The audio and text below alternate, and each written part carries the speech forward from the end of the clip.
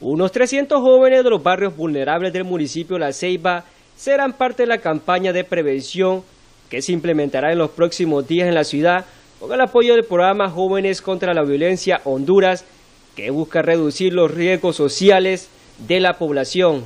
Este proyecto consiste en trabajar lo que es la prevención de violencia de manera...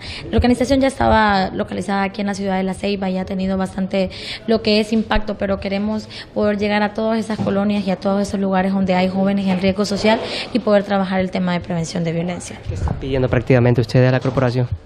Estamos eh, proponiendo una propuesta de poder trabajar eh, 50 y 50% para realizar líneas específicas en nuestras campañas que tenemos diseñadas que son de mayor impacto. ¿Qué proyectos prácticamente?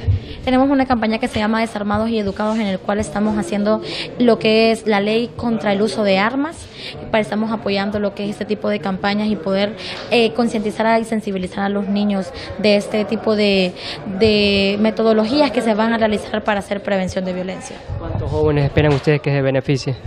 Ya en las campañas que hemos realizado queremos que se beneficien más de 300 niños en, en escuelas y jóvenes con las demás campañas que realizamos. El programa de prevención juvenil será apoyado a través de la alcaldía ceibeña con una contraparte de 42 mil empiras que incluye una serie de proyectos como la entrega de kit con material didáctico, juegos deportivos, intercambio de experiencias de jóvenes, entre otros de que nosotros no podemos hacernos de la vista gorda como municipio de La Ceiba, ¿verdad? La corporación está comprometida con esta, este tipo de iniciativas que vienen a mejorar, ¿verdad? El, eh, la actuación verdad de estos jóvenes entreteniéndolos en cosas positivas y alejándolos verdad de las cosas negativas. Entonces en ese sentido estoy segura verdad esto no es primera vez que vienen acá. Todos los años vienen ellos a pedir eh, esta, este aporte económico porque y, y hay que apoyarlos porque en ese sentido verdad ellos están haciendo una labor que es beneficiosa para la sociedad para el comisionado regional de los derechos humanos, añadió que la implementación de proyectos de prevención en zonas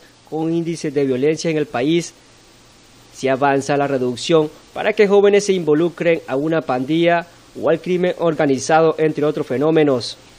Y no tenemos que cerrar los ojos ante esas realidades que se están dando y definitivamente actuar en contra de aquellas personas que desgraciadamente pueden estar valiéndose de esa necesidad de los jóvenes para reclutarlos forzosamente y formar parte de esas maras o pandillas.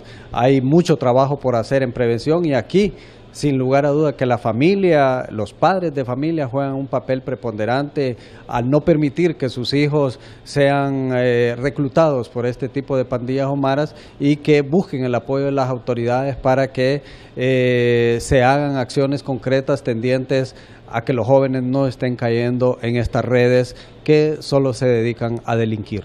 Para Telenoticias les informó José Guía en cámaras, José Cruz.